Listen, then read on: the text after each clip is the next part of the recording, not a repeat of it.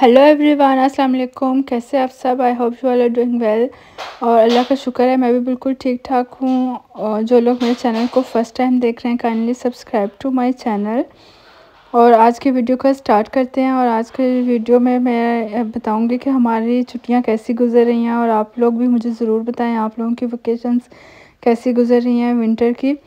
अभी बस ये क्रिसमस गुजरा था तो क्रिसमस का दिन तो यहाँ पे बिल्कुल ऐसे होता है, जैसे कर्फ्यू लगा हो ना, बाहर कुछ भी नहीं होता, ना कोई बसेस ट्रेन कुछ भी नहीं चल रहा होता, बिल्कुल खामोशी और इस तरह से ना। तो हम लोगों ने भी बस फिर बाहर कहाँ जाना था, हम तो खैर घर पे ही थे तो बस फिर उसके बाद फिर मैंने ये भी मैं बना रही थी बच्चों के लिए नगेट्स और ये कि बच्चों की छुट्टियों में तो बच्चों का, इनकी छुट्टियाँ तो खैर काफ़ी टाइम से चल रही हैं जब से हम लोग यहाँ हॉलैंड में आए हैं।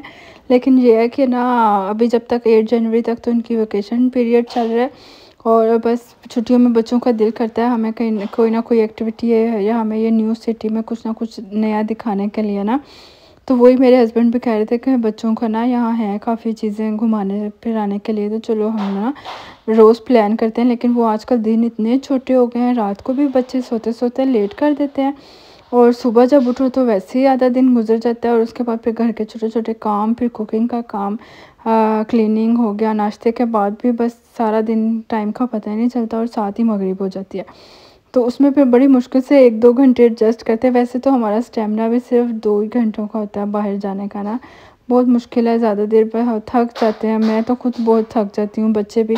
बस इनको एक दो घंटे के लिए ना, इनका ज़रा थोड़ा सा माइंड फ्रेश करने के लिए ना, कोई ना कोई एक्टिविटी के लिए हम इनको ले जाते हैं।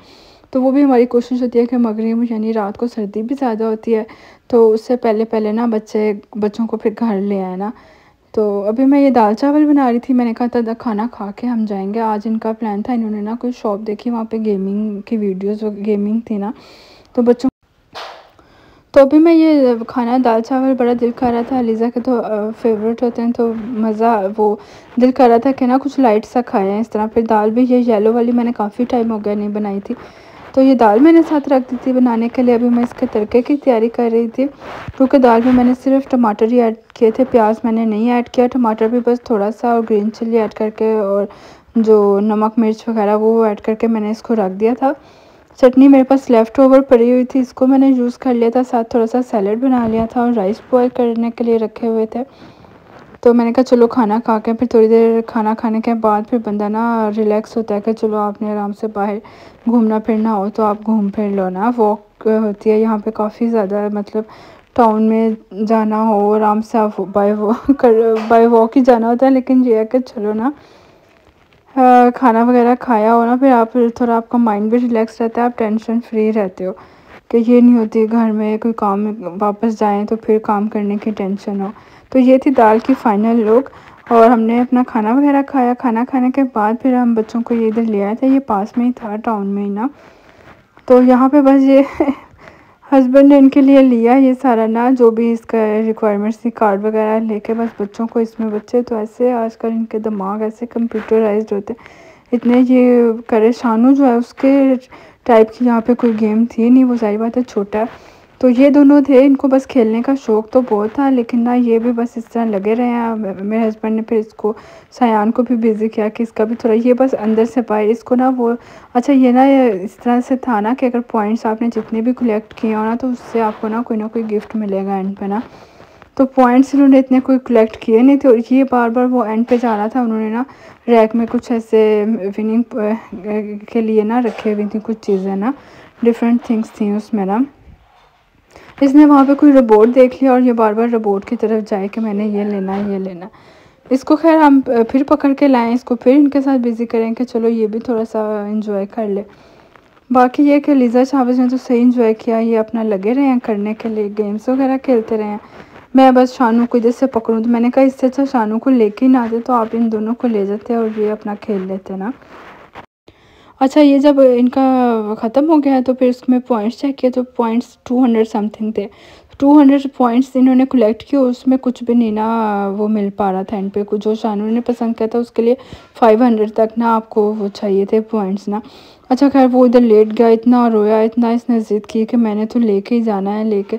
वैसे नॉर्मली ये इतना नहीं करता, लेकिन कभी कभी किसी चीज़ पे जब ये स्टक हो जाए ना, फिर स्टिक हो जाए उस पर तो बस फिर ये ना बहुत इस तरह तंग करता है। फिर खैर हम इसको फैला फुसला के इसको बाहर लाए हैं। इधर ये इन्होंने लगाया हुआ था क्रिसमस ट्री तो यहाँ पे ना एक छोटी सी शॉप थी, इस तरह ना डिफरेंट चॉइस मेरे हस्बैंड ने कहा, चलो इसको यहाँ से देख देते हैं।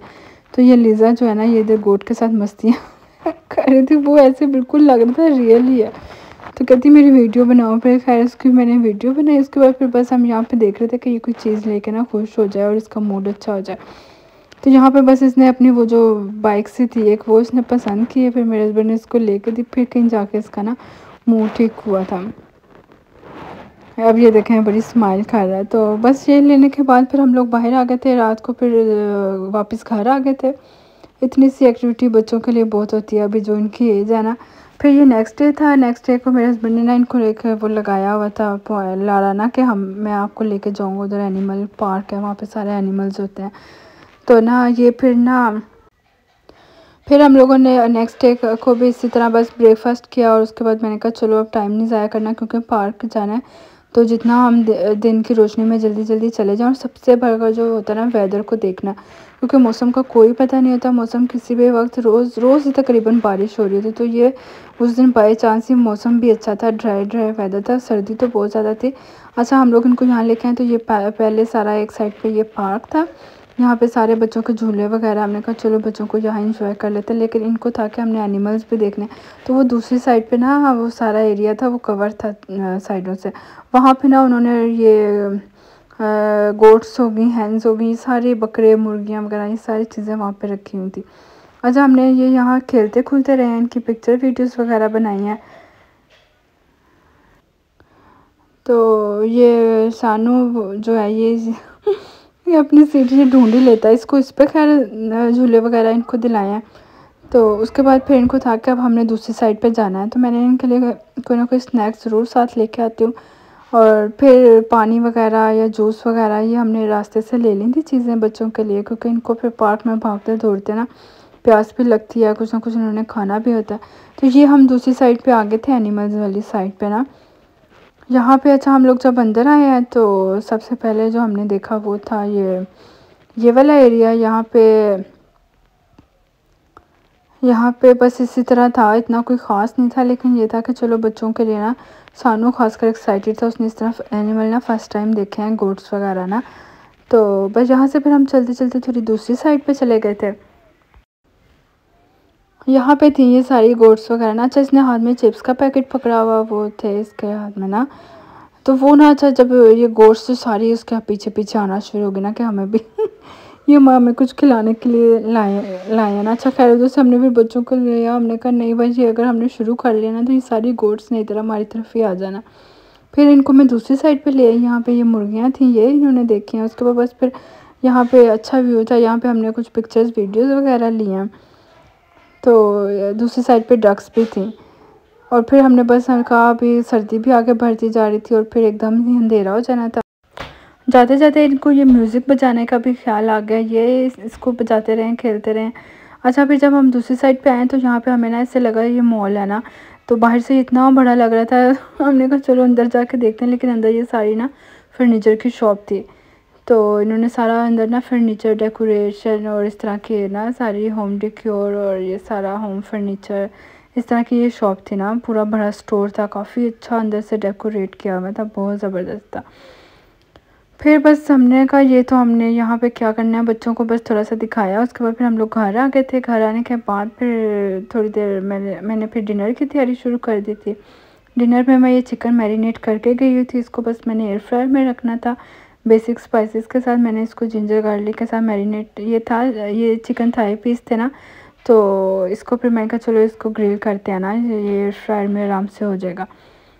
तो इसके बाद मैंने फ़र्स्ट जो बैच था, वो मैंने रख दिया कि पहले हस्बैंड और बच्चों को दे दूँगी, उसके बाद फिर दूसरा बैच जो लेफ़्ट ओवर जो रह जाएगा, बाद में वो फिर बाद में रखेंगे ना। तो अभी बस मैं इसको टाइम लगाऊँगी, ये ग्रीन चिली भी मैंने साथ रख दी थी, ये भी मैंने कहा, ज़रा ग्रिल हो जाएगी रोस्ट हो जाएगी तो इसका बड़ा मज़े का टेस्ट लगता है। तो पहले मैंने इसको ट्वेंटी फिफ्टीन मिनट्स के लिए एक साइड के लिए रखा था, फिर मैंने इसकी साइड चेंज की और फिर इसको मैंने ना दूसरी तरफ़ से भी 15 मिनट के लिए रखा था। क्योंकि इसको फ्लिप करना ज़रूरी होता है। और उसके बाद फिर ये जो नेक्स्ट राउंड था, ये मैंने लगा दिया था। और साथ में ना ये लाई थी, यहाँ जो स्टोर है, वहाँ से ये ना पीटा ब्रेड जो होती है ये बड़ी मज़े की लगती है, इसका नान जैसा ही टेस्ट होता है। तो इसको पहले मैंने हल्का सा पानी लगाया था और फिर मैंने इसको ऑयल के साथ इसको यानी गर्म होने के लिए रख दिया था। साथ मैंने सैलड बना लिया था और ये ये थी चिकन की फ़ाइनल लुक और इसके बाद फिर मैंने ये वाला चिकन बाकी का जो रह गया था, वो उसके साथ रखा। फिर हम लोगों ने अपना डिनर एंजॉय किया। डिनर के बाद फिर मेरा टी टाइम हो गया था। मैंने कहा, चलो सारे दिन की थकन तो उतारे ना चाय के कप से। फिर मैंने कहा, चलो जो बर्तन वगैरह है, वो बाकी बाद में वॉश करेंगे। और ये थी मेरी आज की वीडियो आई होप आपको अच्छी लगी हो। कोई भी बात तो वीडियो को लाइक कर दें। टेक केयर अल्लाह हाफिज़।